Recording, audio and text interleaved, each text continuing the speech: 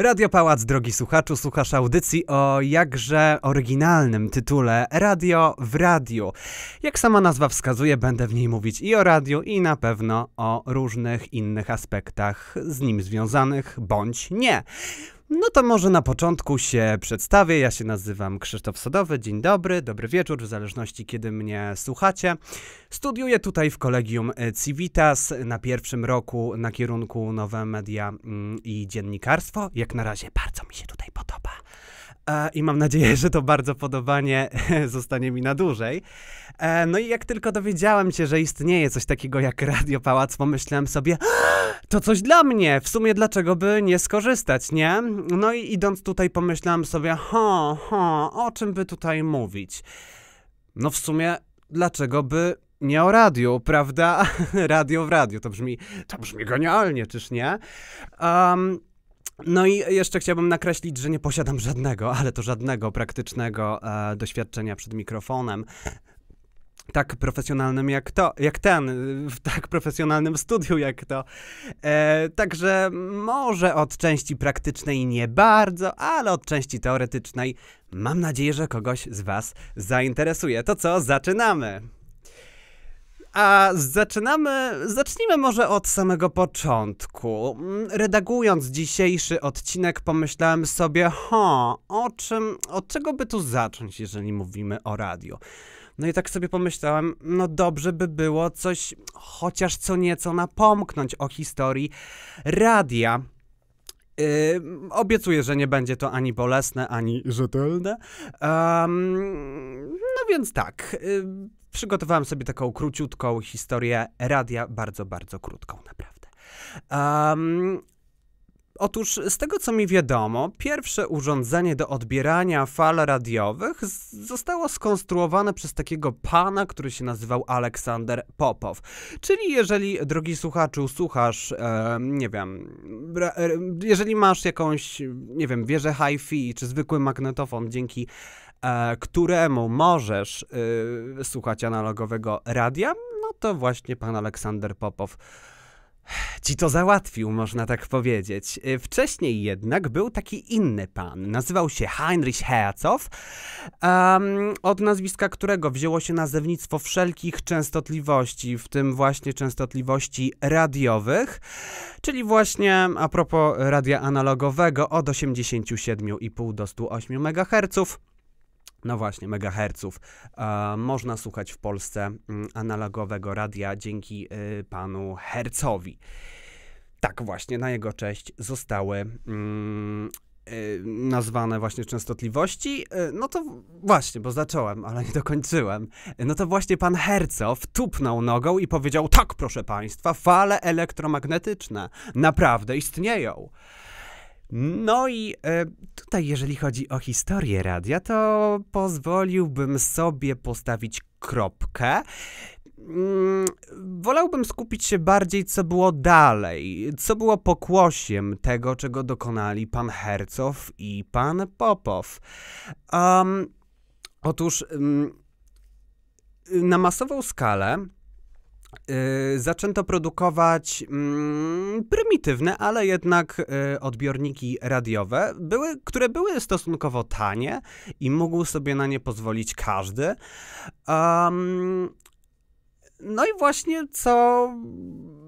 Mm, co przy nowym medium może się wydawać dziwne, bo panowie, jakby nie patrzeć, dokonali yy, odkrycia nowego medium, jakim jest radio. I tutaj proszę bardzo od razu, yy, odbiorniki są prawie że za darmo. No, jak to, jak to jest, jak to możliwe? No, w sumie brzmi nieźle, czyż nie? Um, i było to oczywiście na przełomie XIX-XX wieku. Mm, natomiast pierwsza stacja radiowa, będąca połączeniem muzyki i ludzkiego głosu, czyli czegoś, a, czego słuchamy na co dzień w stacjach radiowych, takowa powstała w 1905 roku. No ale do rzeczy. Powiedzmy, powiedzmy sobie, e, jakie jacy są nadawcy? Mm, czy istnieją jacyś nadawcy, którzy właśnie zaczęli w, w tamtych czasach e, nadawać i na, nadają do dzisiaj? Bardzo proszę, e, BBC zaczęło nadawać w 1922 roku. E, wielki brytyjski koncern medialny, głównie telewizyjno-radiowy, który mam wrażenie, że jest popularny na całym świecie, właśnie zaczęło nadawać w tym roku. I w tym samym roku ktoś e, genialny po prostu wpadł na genialny pomysł, żeby zacząć sprzedawać e, czas antenowy. Na co? Na początku były to jakieś ogłoszenia, a później przekształciło się to w bardzo dobrze y, dzisiaj nam znane reklamy. Jakie były wówczas stawki? Otóż 100 dolarów nie za jedną setną sekundy, nie za sekundę, jak to mamy y, dzisiaj w zwyczaju, szczególnie w komercyjnych stacjach radiowych, ale na 10 minut. Tak właśnie. Pomyślisz y, sobie, drogi słuchaczu, że mm, no naprawdę nieźle. Dzisiaj to wygląda nieco, nieco inaczej. E, troszeczkę fajnie by było żyć w tamtych czasach, nie? No cóż, takie stawki były 100 lat temu, a takie są dzisiaj. To wszyscy, wszyscy widzimy. Um, Skupmy się teraz może na naszych rodzimych mediach. Chodzi mi oczywiście o ogólnopolskie media, mm, polskie stacje radiowe. Oczywiście pierwszą stacją, która kiedykolwiek zaczęła nadawać y, na, na zasięg y, w, zasięgu ogólnopolskim, była radiowa jedynka, czyli in, innymi słowy program pierwszy Polskiego Radia, która powstała w 1926 roku. Um, no, czyli jak nie łatwo, jak nie trudno e, sobie policzyć, za chwilkę będzie 100 lat.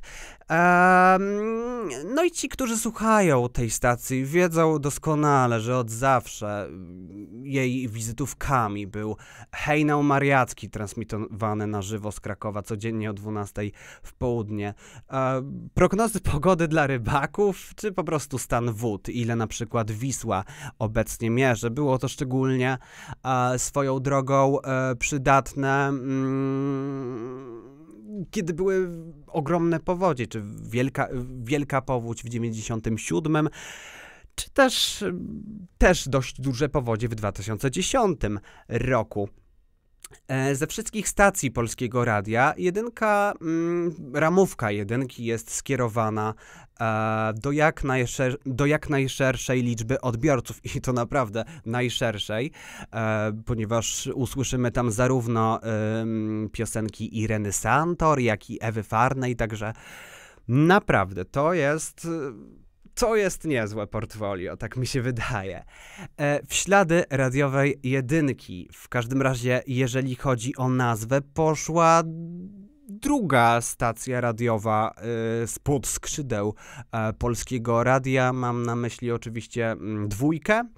Jedynka, dwójka, tak. czyli program e, drugi polskiego radia. Stacja, która jest dość specyficzna, ponieważ w polskim eterze na próżno szukać drugiej tak wyjątkowej stacji radiowej. Już mówię, y, o, o co chodzi. Mm, ramówka radiowej dwójki składa się prawie wyłącznie z muzyki klasycznej, z transmisji różnych oper. Um, no i może któryś słuchacz zapytać, aha, aha, ale czym się właściwie różni taka dwójka od RMF Classic? No to już wyjaśniam. W RMF Classic po pierwsze mamy czarujący głos pana lektora e, Piotra Borowca. RMF Classic, najpiękniejsza muzyka filmowa. Um, oraz możemy um, co najmniej trzy razy posłuchać, jak Marian kłóci się z Barbarą o sprzęt RTV lub AGD. Natomiast w dwójce ani głosu pana Piotra Borowca, ani Mariana i Barbary nie usłyszymy. Nie, po prostu dwójka jako jedna z nielicznych stacji e, w polskim eterze, bardzo nielicznych właściwie, nie nadaje reklam w ogóle. W ogóle zero. Także mm, jest to naprawdę dość niezwykłe, szczególnie mm, jeżeli mówimy o zasięgu naziemnym, bo jeszcze jeżeli chodzi o radia internetowe, to to zdaje się um, tam może jeszcze być mniej reklam, bo zresztą mi osobiście naziemne media kojarzą mi się z dużą ilością reklam e, i dwójka właśnie zaczęła nadawać w roku 1949.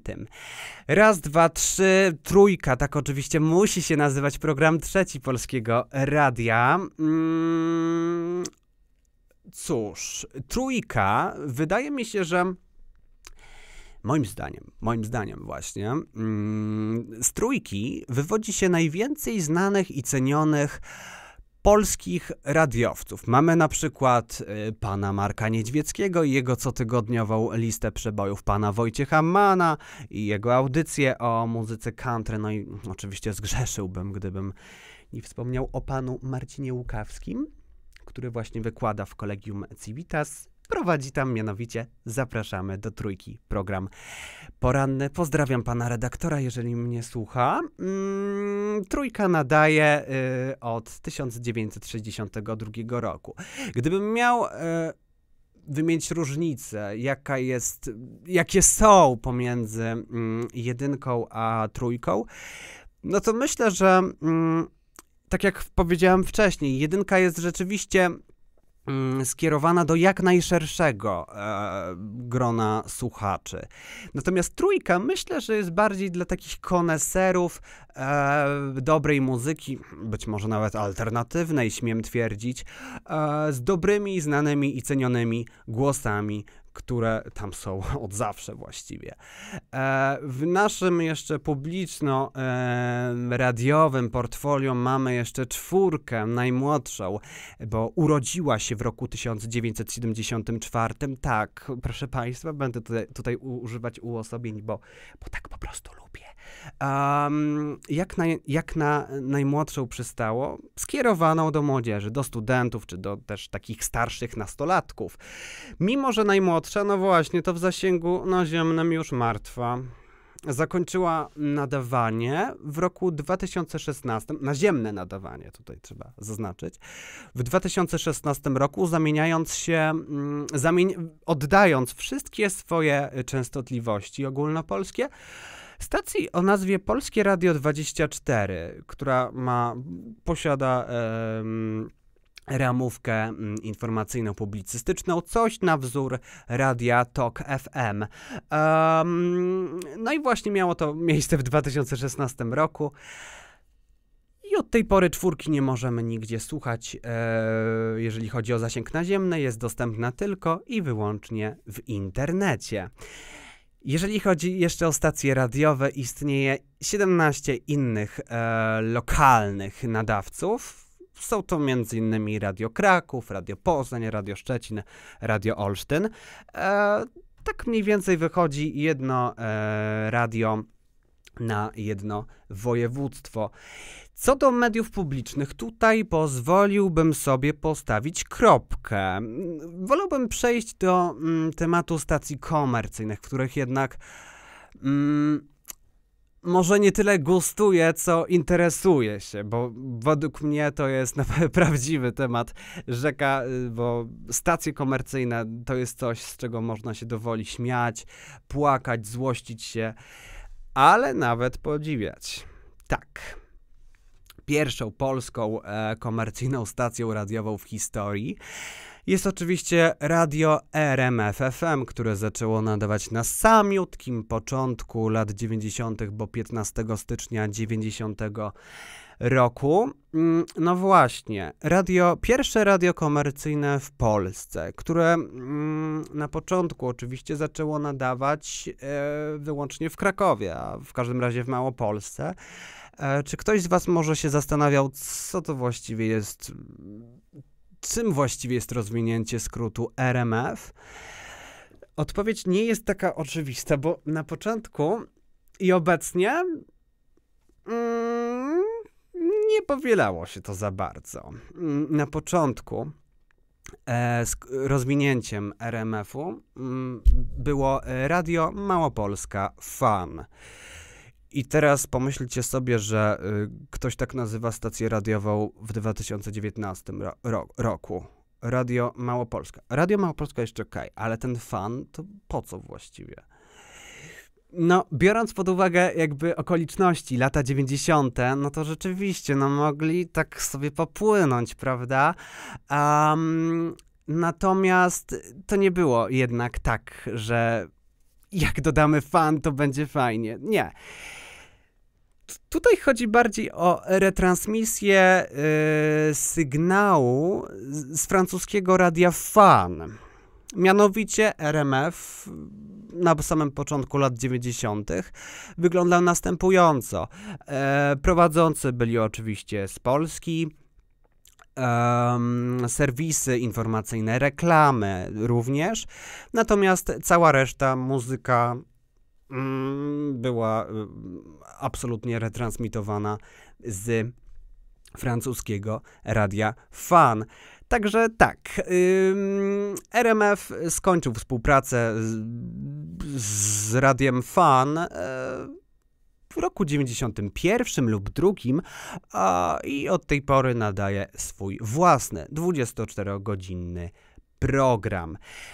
Um, no tak. Ale to, to w Krakowie właściwie. A co, co wtedy było w Warszawie? Czy, czy, Warszawa mogła się pochwalić jakąś stacją radiową, która zaczęła nadawać mniej więcej w tym momencie? Tak, oczywiście. Radio Z, które zaczęło nadawać 28 września 90 roku, a zaczęło właśnie wtedy nadawać yy, i tak jak RMF tak jest też do dzisiaj. Jest zdecydowanie radiem krakowskim. Proszę zwrócić uwagę, że jeżeli Państwo, jeżeli państwo e, sobie lubicie wyjechać na e, narty, mm, szczególnie w Zakopanem, szczególnie w Małopolsce, to zwróćcie uwagę, że leci tam radio RMF, ale szczególnie w Zakopanem, gdzie po prostu tych tych e, plakatów RMF, RMF FM, najlepsza muzyka, najlepsza muzyka, najlepsza muzyka jest całe mnóstwo, absolutnie, szczególnie na Gubałówce. Tak jest. Y, Radio Z z kolei jest, jest zdecydowanie radiem warszawskim. Um, no i właśnie, gdyby porównać rankingi słuchalności współczesne um, w Warszawie i w Krakowie, no to w Krakowie prowadzi RMF, a w Warszawie właśnie Radio Z. Um, Natomiast jeszcze chciałem tutaj się odwołać do RMF-u, e, ponieważ on na początku nadawał wyłącznie w Krakowie czy też w Małopolsce po prostu. Um, I do Warszawy dotarł dopiero w 1994 roku, czyli Zetka miała w sumie taki, no powiedzmy, że monopol. Uh, prawie że monopol, prawie, e, przez 4 lata. No i właśnie tak z biegiem lat 90. RMF i Zetka zaczęli rosnąć, rosnąć, rosnąć, aż w 2001 roku RMF uzyskał pozycję lidera w Polsce. No właśnie i utrzymał, utrzymuje tę pozycję lidera aż do dzisiaj.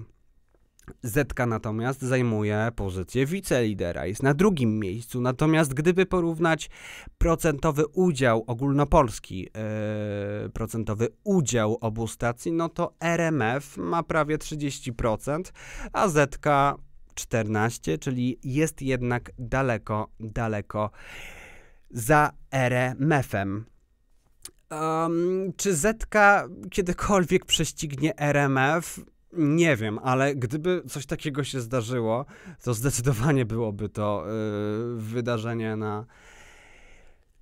W sumie może różne, nie wiem, serwisy informacyjne by o tym mówiły, bo to, bo to naprawdę pozycja lidera e, w Polsce, która nagle została mm, no, zmieniona, że wicelider właściwie e, pobił lidera, no to, to jeszcze przez 17 lat, prawda? Proszę zauważyć, 18. No to to jest sukces, ale na razie RMF pnie się do góry i pnie cały czas z roku na rok. Na czym w sumie polega sukces RMF-u? Dlaczego ta stacja jest taki jak magnes, mimo że niektórzy uważają, że e, e, analogowe radio umiera, tak e, RMF rośnie i rośnie z roku na rok. O co chodzi? myślę, że odpowiedź na to pytanie jest gdzieś zakorzeniona głęboko w kopcu, na kopcu Kościuszki w Krakowie, gdzie RMF ma swoją siedzibę. No i na dzisiaj byłoby to tyle. Za tydzień wezmę pod lupę hmm, troszkę więcej tych komercyjnych gigantów, który, którzy również walczą o, e, dzielnie walczą o łaskę radiosłuchacza i jego kluczową decyzję, którą stację radiową wybrać. Wytkniemy im zalety, wytkniemy im wady, bo i tych, i tych z pewnością uzbiera się na pęczki. To co? Spokojnego tygodnia. Do usłyszenia w kolejny czwartek o 14. Krzysztof Sadowy. Cześć!